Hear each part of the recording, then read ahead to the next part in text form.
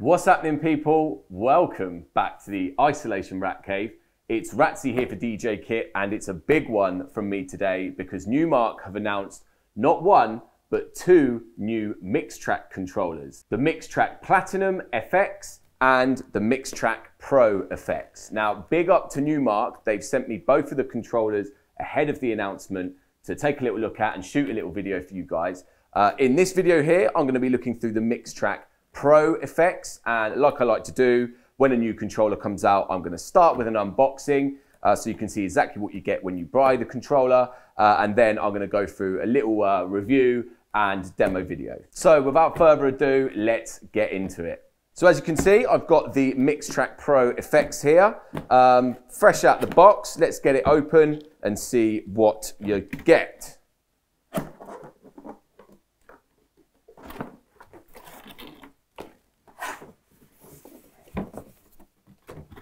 Okay, controller and little care package. So first things first then, let's have a look to see what cabling and stuff comes with the controller. Um, USB cable from your controller into your laptop. Now these controllers are Serato uh, controllers, so they work with Serato DJ Lite or Serato DJ Pro. Um, so that's all you need really. They are powered by uh, the laptop, so no need for a uh, plug, a power plug. It is powered by this USB cable into your laptop.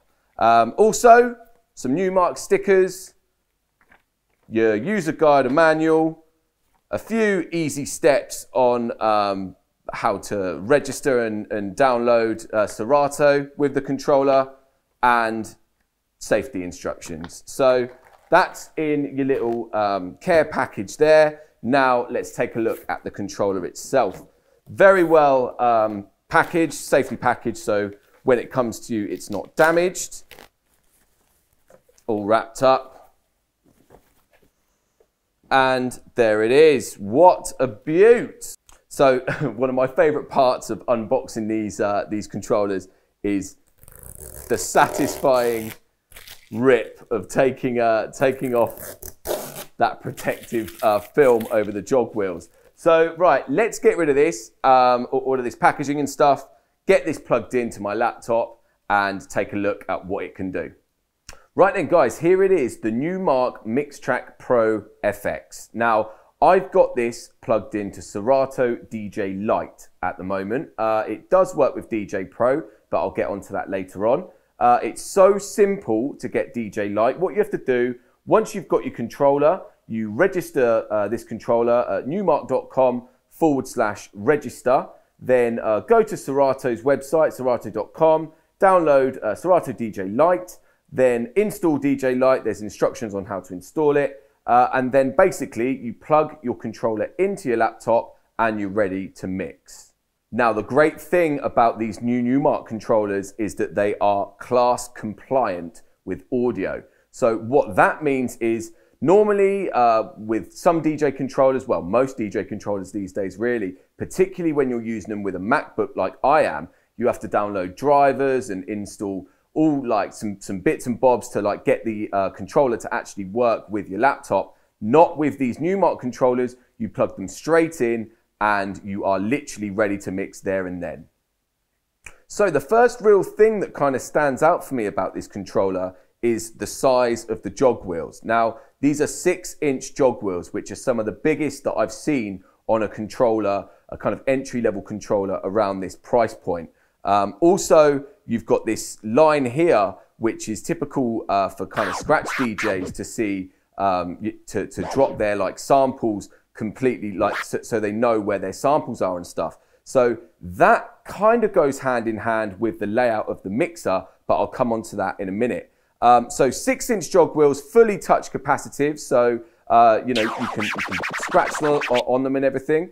Um, and then moving over, this is another thing which uh, makes this controller stand out is the pitch slider here is 100 millimeters. So again, I think that's probably the biggest pitch slider that I've seen on a controller around this price point as well. Just underneath the pitch slider here, you've got the pitch bend. So where you can obviously speed up or slow down your tune by nudging the side of the jog wheel like that, or you can literally press these buttons, uh, plus to go a bit faster, minus to slow your tune down, uh, which is uh, another way to mix if you're not that keen on jogging the jog wheel like that. Uh, and then like any other kind of DJ controller these days, if you hold shift, uh, these red bits here are the secondary options of all the buttons. So hold shift and you've got the pitch range on the minus or hold shift and you've got the key lock, uh, turning on the key lock on and off on the plus there. Now here you've got your scratch button, so whether or not you want to turn like the scratch mode on or off on the actual jog wheel itself. So with the scratch mode on, you can literally play, uh, when you touch the top of the jog wheel, it acts like a, like a vinyl. Uh, if you take that off, it it slows uh, slows the tune down or speeds it up. Whereas with it on, it literally goes around like a vinyl like that. So down here in the bottom right hand corner, you've got your instant loop section. So to uh, trigger a loop, all you do is just click this loop button here, uh, and then you can make the loop twice as big by pressing that button, or half the loop by pressing that button. Uh, the secondary function of this, so when you hold shift, it's reloop. So what it will do is go back to whichever last loop you've uh, had in, no matter where you are in the tune. And the shift and these buttons down here are a manual loop. So you can literally put your loop in there and then put your loop out there. And then that will be the loop which is playing within Serato. So now onto the performance pads here. Now there are four performance modes on here. Uh, what I should say when you're using this with Serato Lite, it is only the top four pads up here which uh, control the performance modes. Um, so you've got Q, which is uh, in certain hot cues, you know, pretty self-explanatory. Go through your tune. If you find a point that you want to start a hot cue on, you press uh, the one of the pads which aren't lit up. The pads that are lit up are the pads which already have hot cues on them. So I've uh, already put some in here. Um, so, and then to delete the hot cues, you just press shift and press the pad that deletes it. Um, so then the auto loop function, so the auto loop function here, what that does is uh, each of these four pads are a different size of a loop within Serato. Starting on a one beat loop here, two beat there, four there, and eight there. But it's worth to note as well, when you do have this auto loop on, what you can always do is go back down here and double the loop or half the loop using these two buttons, which I mentioned earlier. So the third performance mode here, now this is unique to these new Numark controllers the fader cut function. So what this does is each of these uh, buttons above here uh, perform a transform kind of scratch. So it basically very quickly cuts the audio in and out as if you were doing it on a crossfader. So I will just show you a little example of this here. So I've got a scratch uh, sample on a loop. Uh, so the first uh, pad here is a one-click flare as you can hear there. The second one is a two-click flare. Then the third is a three-click flare. And the fourth is a four-click flare, otherwise known as a crab.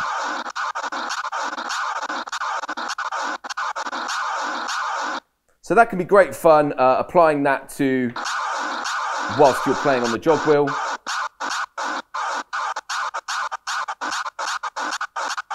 It basically uh, does advanced um, crossfader like cuts uh, at the push of a button. Now the fourth performance pad is the sampler. So basically you put your samples within Serato and then these four pads along here will trigger the sample for you. So obviously these performance modes are copied uh, for each deck, but uh, let's go over here now and look at the bottom pads over this side instead. So what Stutter does is it repeats or like stutters the sample when uh, the pad is repeatedly tapped. So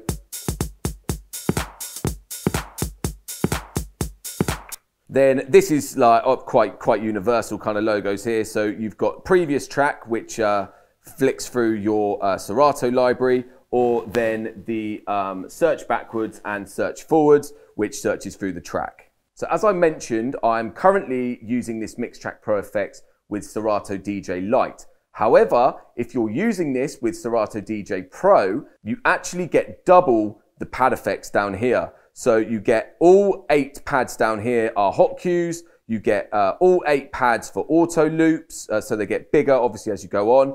You get more fader cuts, so you get um, more fader cuts on the four pads down the bottom, and you get four more samples as well. So again, when you're using this with DJ Pro, um, you get access to all eight pads for the performance modes up here. In DJ Lite, it is only the top four.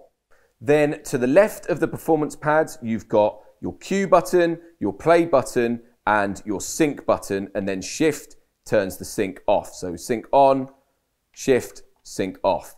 Now, I just want to say at this point, uh, you might notice like other people with uh, Numark controllers or who've had Numark controllers in the past, they are completely symmetrical. So that would mean like the uh, cue and the play buttons uh, would both be on the inside here and the loop in function would be out here. So imagine a mirror going down the middle, they would be completely symmetrical. On these new Numark MixTrack controllers, they aren't symmetrical, which for me is such a good touch because this is the typical uh, amongst other controllers and higher end sort of standalone units and stuff. Uh, so if you're playing or learning on this controller and then you go and play on something higher end, let's say, you won't then be sort of going over here or over here uh, and, and mistaking where the cue and the play button is. So massive thumbs up from me to Numark on, um, on taking away that symmetry on this controller. So on the top left of the left-hand deck, that is your mic control. This controller has one microphone input and it is a quarter inch jack on the back. Then on the top right of the right deck, this is your master volume. So now then, let's move on to the mixer section. Now, for those of you that are kind of up to speed with your Numark products, this might look a little bit familiar to you. For me, this looks just like the Numark Scratch mixer. So, you know, first thing that stands out is the paddles here which you see on a lot of high-end DJ controllers, high-end battle scratch mixers. So it's really great that they've brought this in to an entry-level DJ controller, such as this MixTrack Pro effects. So let's take a look at the effects section then. So this MixTrack Pro effects has got six effects up here, and they are triggered by using the paddles. So uh, I'll, I'll take you through them. So the first effect, the high pass filter. Uh, you turn it on, like I say, by pressing the paddle up is locking the effect, or you can one-shot it by just pulling it down, as you can see. And then you can control the dry and the wet of the effect up the top here. So lock it on like that. So that's the high pass filter. Now the low pass filter.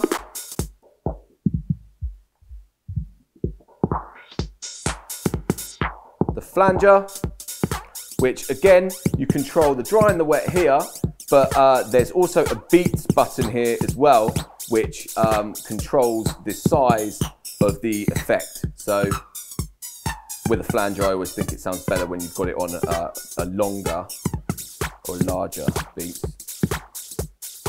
So that's the flanger effect. Then you've got echo. Again, just taking the beats down there, the size of the effect. Uh, you've got reverb.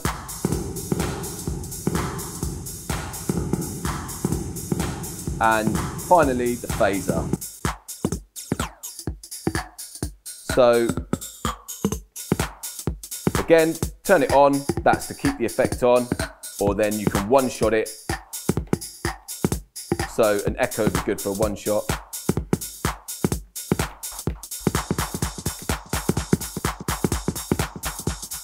So really nice touch there with the paddles. Like I say, that's a feature which you don't see on these entry level controllers. That's more common on an like more expensive, higher end battle scratch controller. So again, a, a, nod to what I said at the beginning of this video about having this kind of scratch line here. Uh, this controller with the large jog wheels as well would be an ideal entry level controller to learn how to scratch on, especially again with that fader cuts button. So at the top of the mixer here, you've got your browsing knob. Um, and then your load buttons, where if you double tap, that does a uh, instant double. Instant doubles means uh, it loads the same tune to both the channels at the same time. Um, so yeah, really nice to have a browsing knob on here. Uh, keeps you uh, from sort of having your head stuck in your laptop, which is fantastic. You've got a tap button here, which if your tune isn't um, completely, if your effects aren't in time with the tune for any reason, you can tap the um, button there to the beat of the tune so your effects sound bang on. Um, now moving down, you've got your uh, headphone cue here, which is the headphone uh, volume, and then you've got the whether or not you want uh, completely uh, headphone, just listening to the headphones, or um, listening to the mix which is coming out of the speakers. And then obviously your two headphone cue buttons here. So above the volume faders here, you've got your filter knobs. Now, again, so you've obviously got high pass and low pass filter up here in the Serato effect, but this does a bit of both. Obviously one of them for each channel. Then above the filter, you've got three band EQ. Uh, so just for people that don't know very, very quickly, three band EQ, the bottom is the bass. So if I take all the bass out, as you can hear, all the bass is gone. The mid is the mid range, turn it down, or of course you can turn it up. And the top is the treble, turn it down, turn it up. And at the top here is the level, which is uh, like the gain, kind of like uh, the volume of the track. Finally, in the mixer section, you've obviously got your crossfader down here, which takes you uh, from channel one, listening to channel one all the way over there, or channel two all the way over there. Now, it's worth saying as well, within Serato, uh, you can change the curve of the crossfader, which means you can either have it on a kind of blend like that, or if you want to scratch with it, you have it on a very tight crossfader. So just a little bit of the tune comes through um, when you've got a tight cut here. So as I said at the start of the video, uh, this controller is USB powered. So it doesn't require any power like to, to a wall, any kind of current power. It is powered by the laptop, which is uh, in the USB here. This is where you come out and into your laptop. And then the output out here is a single RCA master out. So no booth on this, no XLR on this, just a single master um, RCA master output. Also, on the front of the unit, you've got dual headphones, so you've got a quarter inch jack or a 3.5. So there you have it then, guys. That is the brand new Numark Mixtrack Pro Effects DJ controller. Um, so massive fan of the, of the larger jog wheels, massive fan of the um, large pitch faders, although I do like a click in the middle, which, uh, which this doesn't have on, so that's a little bit of a shame, but you know, such a touch to have such a big uh, pitch fader on such a small controller. Um, also, leaps and bounds with the mixer. Like I said, you know, this kind of emulates the Numark Scratch mixer. Um, six different effects on it. Uh, they are different effects to the Numark Scratch, but still all in the same place, and the paddles are a wicked touch as well. Uh, to be fair, this whole kind of controller is a massive nod to like Scratch, entry level Scratch DJs uh, you know, with like the scratch line on the jog wheel, the paddles and like the battle style kind of mixer layout, and then also that wicked fader cuts performance mode, which would be great for, you know, not only sort of emulating a scratch, but um, doing a scratch and then pressing the button to, to do the scratch, I mean, and then trying to copy it yourself. So, uh, yeah, wicked controller from Numark. Um, very, very impressed. So yes, guys, thank you so much for watching. Uh, like, share the video, subscribe to the DJ Kit channel as well, because there's plenty of other videos on there. And uh, until next time, stay safe, and I'll catch you soon. Peace.